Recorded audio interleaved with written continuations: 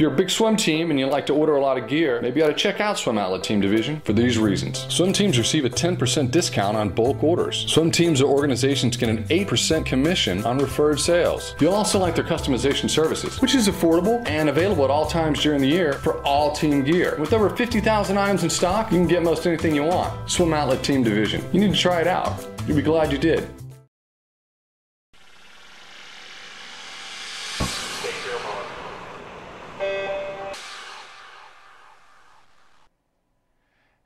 Everyone, and welcome to the Morning Swim Show for Tuesday, September 30th, 2014. I'm your host, Jeff Commings.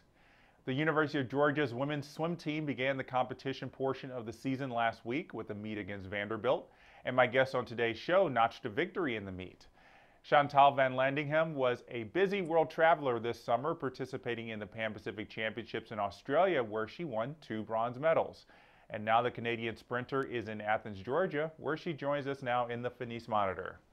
Hi, Chantal. It's good to see you. How are you today? Hi, I'm good, thanks. How are you? I'm doing well. Uh, you've done a lot of traveling the past month, getting to go to Australia for Pan Pacs. Uh, did you get to recharge your batteries at all before you had to get back into college? Uh, nope. Actually, missed the first week and a half of school. So from Australia, everyone, everyone who was representing Georgia flew straight down here. Had to get back in the swing thing quick. Gosh, that that must have been a little bit of harrowing for you. Not only just to get back into school, but you had to make up for the, that week and a half you missed.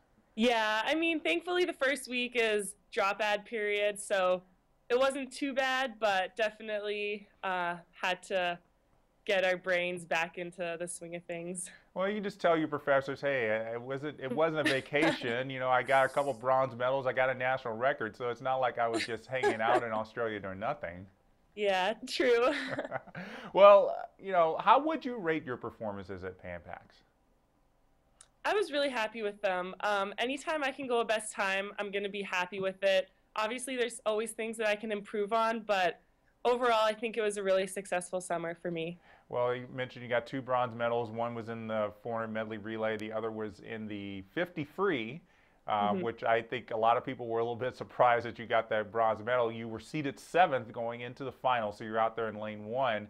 Uh, did you go into the race thinking that you had a shot at a medal? Honestly, no. Um, I I hate being in the outside lane. I love being in the mix of things, but for 50 free, I don't. I try to only take one breath, so that's a good thing, I guess. Um, when I touched the scoreboard, I had no idea what place I was because they don't put the places up. So I just saw my time, and I was so happy with the time. Didn't even found like find out. Um, I got third, and my coach a couple minutes later. So definitely a big surprise. Um, super happy though, first international medal individually. So it was pretty cool. Yeah, to be able to stand on that medal podium, um, you know, the, the, the Campbell sisters um, went one two in that, and then you were sitting there third representing Canada. Was that and it was on the last day of the meet. I mean, was that a good feeling to to cap off the whole meet for Canada, which um, you know obviously was doing very well. Thank you. Yeah, absolutely. It was amazing. It was really cool to be on the podium, especially beside the Campbell sisters. I mean, they're amazing. I look up to them so much, and they're such great people. So it was super fun racing them. Well, as I said, that, that last day of the meet, Canada did so well. I mean, Brittany MacLean yeah. got a uh, got a medal. Ryan Cochrane did very well in the 800, um, and then you you in the the 50. Was there anything special that uh, the coaches were, were saying that day, or was it just you know the stars were aligning for Canada that day? yeah, I'm not sure. Um, I guess just the last day of the meet, you know, we really wanted to try to go off with a bang. Um, excited for it to, I don't know, be over probably a little bit too. but yeah. it was really cool seeing Ryan and Brittany both do that, especially, you know, Brittany with the Canadian record too to end off the night. So it was just, it was a really great meet for Canada. I'm super proud of everyone. Well, you didn't swim fast enough in, at the Nationals to qualify for Commonwealth Games. So, mm. how did that motivate you and affect your preparation for Pan Pacs?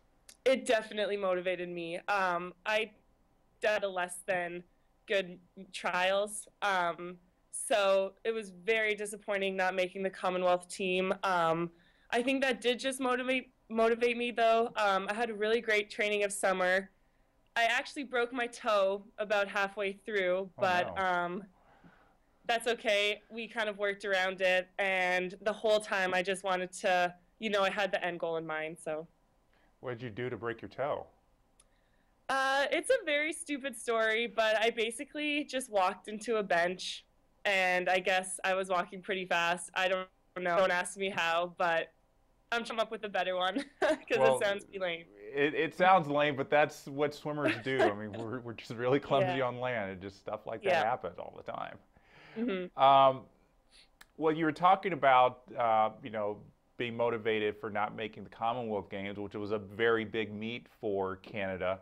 Mm-hmm. Um, next year is even bigger for the Pan American Games, which is going to be in Toronto. Uh, right. I, am imagining you're really pumped up to be able to swim on your home turf next year. Absolutely. Yeah, and training has been going really well so far this season. Um, we're definitely changing a little bit of things just because last year I didn't swim as well as I wanted to. So this year has been going really well so far and super excited for SECs, NCs, and then, yeah, later, hopefully the Pan American Games. That'll be really cool. Well, you mentioned you didn't get any break um, after Pan Pacs went right into college. I mean, you got mm-hmm. right into your first meet. You had to swim against Vanderbilt. Uh, mm-hmm. Won the 100 free, pretty good time. And, you know, what is, what is, what are your thoughts about how you're how you know you said everything's looking good right now but you know do you feel like you're race ready ready to get into this dual meet season already absolutely. I love racing. I love dual meets. I love being here with the team. Um, we have a great group of girls. The freshmen are great. They're ready in with the team excited about the season. So that dual meet was great. It was a lot of fun and i think we're all really excited for the upcoming season and seeing what we can do. Do the, do the Bulldogs look like they're going to win a third straight NCAA team title? I don't know. We'll have to see. Um, we're training hard every day. You know, we're doing everything we can to be the best we can be, and then the results will take care of themselves in the end. So. Well, you mentioned Brittany MacLean earlier. She's also there at Georgia, a fellow Canadian. Does that uh, has that helped you um, on the team, knowing that there's a fellow Canadian, especially when you were a freshman, making that adjustment to the United States? Yeah, it's so nice. Brittany's amazing. She's one of the best people on this team and it's also nice just having someone to like travel with when we go back home together. She's in the same boat I am, so great to have her there for support and if I need someone to talk to, she always has my back. So do you guys do you guys talk more to each other than the, the other people because you kind of have that Canadian bond? Um we were very close friends coming in and we've stayed super close throughout our whole college career, so that's good. But I mean, we're close with everyone on the team too, so. Yeah. And it helps that there's no rivalry between the two of you. I mean, she's distance and you're sprinter, so you know. Exactly. There used to be when we were younger, but now we've definitely gone our separate ways. um, and just another thing to kind of go back to Pan Pacs. I mean, you and Brittany and and Nic Fink came back with some hardware to Georgia. Did they? Was there any kind of team celebration? I would imagine, or should have been. Uh, no, not really, but that's okay. I mean, we, I think we're all pretty humble people. We just wanted to get our heads down, get back to work, you know, get into school, get into swimming. So. Well, I, I think there should have been some kind of celebration. That's a big deal for. I mean, those those are three very big swims. I mean, you in the 50, mm-hmm. Brittany in the mile, and Nic in the 200 breast. Again, on the last day of the meet. So um, you know, yeah. well, just, thank you. It was, it was a good day for Georgia. A for very sure. good day for Georgia, Canada, everyone yeah. all around. Well, I know you got to get back to everything, yeah. getting getting back in the swing of things, Chantal. But before we let you go, we want to submit you to our final five. These are five questions we ask our guests on the Morning Swim Show. So the first question okay. for you is, if you could trade lives with any swimming celebrity for one day, who would it be? Oh, that's a good one. Maybe, hmm. I would say Cate Campbell. Okay, very logical choice. Uh, if you could trade lives with any non-swimming celebrity for a day, who would it be? Um, right now, Ariana Grande. okay, you a big fan of her music? Yeah. Yeah, pretty popular now. Uh, besides this current year, what's a year of your life that you would like to relive? Um, probably my senior year of high school. That was a really great year all around. Lots of fun. It would be great to go back and do it all over again. Um, no worries, no stress. So. all right. Uh, what's your favorite movie? Uh, I am a huge movie buff, so that's a hard one, but probably Lord of the Rings, just the all three of them. Okay, and and then probably I guess you can probably throw the Hobbit ones in there. It's kind of all the same thing. Yeah, they're pretty great. all right, last question for you. What's your favorite season? My favorite season is summer, hands down. Okay, even in even in Georgia, it's hot there. In Georgia, no.